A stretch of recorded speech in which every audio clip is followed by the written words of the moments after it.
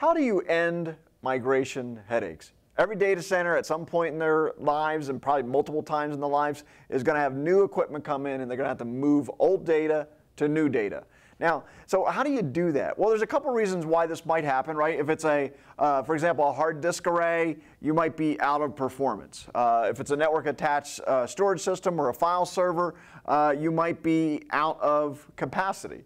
And so you need a new system to come in. And so the typical way to do this, right, is you probably today would go out and buy an all flash array. And you'd use some sort of utility to do sort of a block copy over.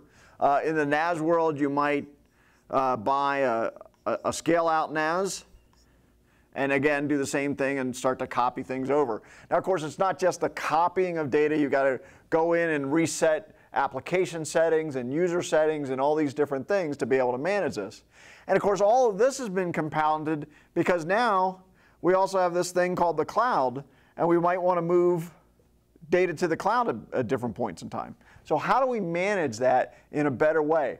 Because the problem is we're seeing new technology come all the time, and, and the real answer is to just eliminate migration. What we need is a flow so that you can put a piece of software in that sort of acts as a metadata uh, engine, and then it manages the location of everything in the environment. So then, if you come in and now add another flash array,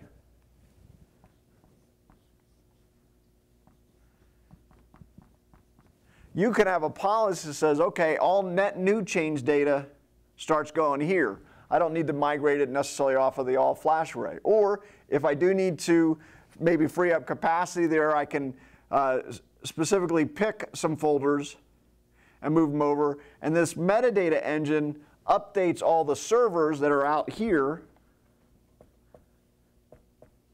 so they don't have to be changed as a result of doing this, right? And that also includes, let's say I've got a, a project or something on that all flash array that I'm done with, and now I want to move it to the cloud, I can do that automatically.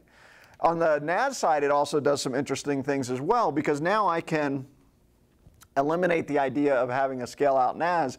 If I wanted to, I could just keep buying uh, traditional scale up NASs and automatically just have data flow between these things based, uh, based on need or whatever.